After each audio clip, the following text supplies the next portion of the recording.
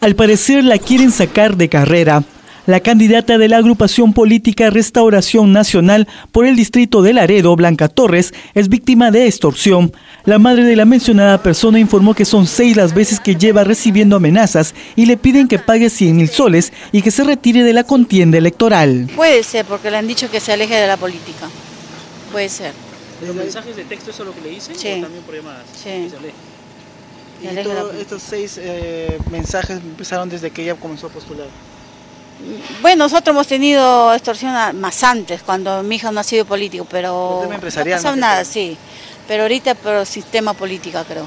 La familia asegura que Blanca no tiene adversarios políticos directos y menos sospechan de alguno que participa en el distrito. Lo que sí concuerdan es que las misivas extorsivas llegaron cuando se anunció su postulación por Restauración Nacional.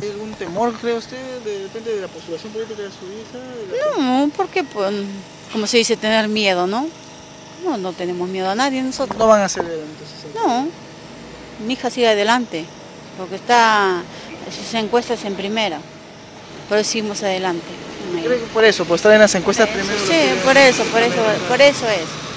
¿Tienen algún partido político sospechoso de este? Mm, Hasta ahorita no. Por ahora no son víctimas de algún atentado, pero aseguran que no se doblegarán por las amenazas. La postulación sigue en pie, aunque cuando fuimos a buscar a la candidata que se encontraba en la Dipincri Este del Porvenir, no se pronunció al respecto.